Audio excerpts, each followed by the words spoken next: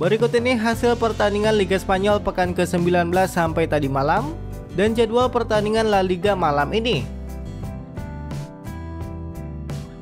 Hasil pertandingan pertama La Liga pekan ini Almeria menang 3-1 atas Espanyol. Selanjutnya Cadiz berhasil kalahkan Mallorca dengan skor 2-0. Hasil pertandingan selanjutnya Barcelona kalahkan Girona dengan skor tipis 1-0. Gol tunggal Barcelona dicetak oleh Pedri. Sementara itu Sevilla berhasil kalahkan LC dengan skor 3-0.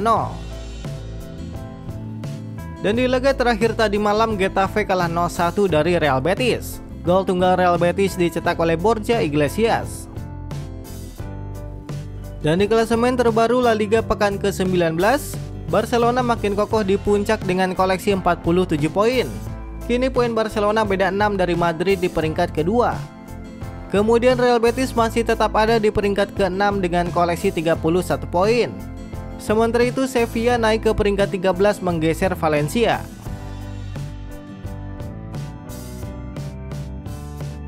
Untuk top skor La Liga sampai hari ini masih dipimpin oleh Lewandowski dengan koleksi 13 gol, diikuti Joselu dengan 11 gol. Top asis La Liga masih dipimpin oleh Mikel Merino dengan koleksi 7 asis diikuti Griezmann dengan 6 assist. Top clean sheet La Liga masih dipimpin oleh Ter Stegen dengan koleksi 14 kali clean sheet, dibuntuti Unai Simon dengan 8 kali clean sheet.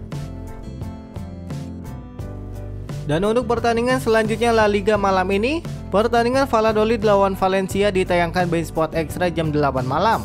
Osasuna lawan Atletico Madrid ditayangkan Bein Sport 3 jam 10.15 malam Celta Vigo lawan Athletic Bilbao ditayangkan Bein Sport 3 jam setengah 1 dini hari. Real Madrid lawan Real Sociedad ditayangkan Bein Sport 3 jam 3 pagi.